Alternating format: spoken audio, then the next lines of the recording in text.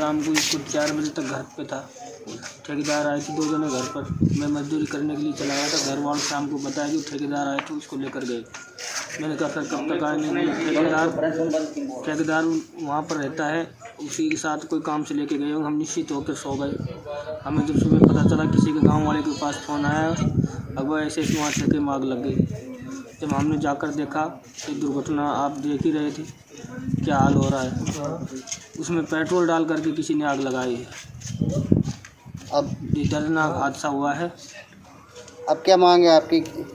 मांग कुछ नहीं हमें न्याय चाहिए और प्रशासन आना चाहिए। अभी तक वो ठेकेदार है ग्रुप सरपंच है वो अभी तक वहाँ तक कोई किसी को निर्णय नहीं ग्राम पंचायत से है माछरोली से।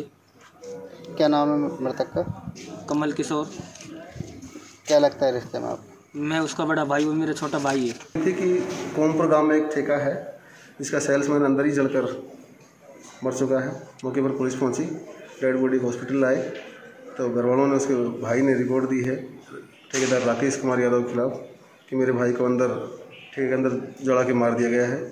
मृतक का नाम कमल किशोर, पुत्र रमेश, दत्तक पुत्र ओम प्रकाश। झाड़का उम्र करीब 24 वर्ष निवासी झाड़का हरसोली का रहने वाला है।